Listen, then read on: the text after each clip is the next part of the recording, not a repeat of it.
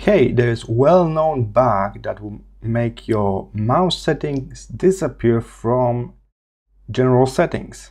But there's a way how we can still access your mouse and change the settings for it. So by default, if you open your settings from the dock here, you will see this pop-up screen when you can scroll down and the mouse, keyboard, trackpad, all of those devices should be at the very bottom of the list. In my case, the mouse is shown correctly and I can adjust tracking speed, double click speed, scrolling direction, all of that is here. But in many cases, it may disappear, especially with a Magic Mouse by Apple. so if you try to change some mouse settings, but you cannot see the mouse over here, in your devices, you will need to head all the way back to Bluetooth, select Bluetooth, and then search for the mouse on the device list for the Bluetooth connection.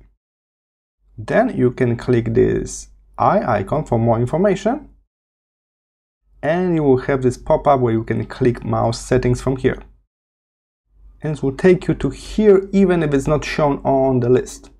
All right so this happened several times to me already but luckily I was managed I managed to access that from the Bluetooth menu without any trouble. So if it disappeared from the list there's still hope. Just search for the Bluetooth and click mouse settings from there I hope this workaround will be helpful and I hope they will fix this issue soon. See you in the next one.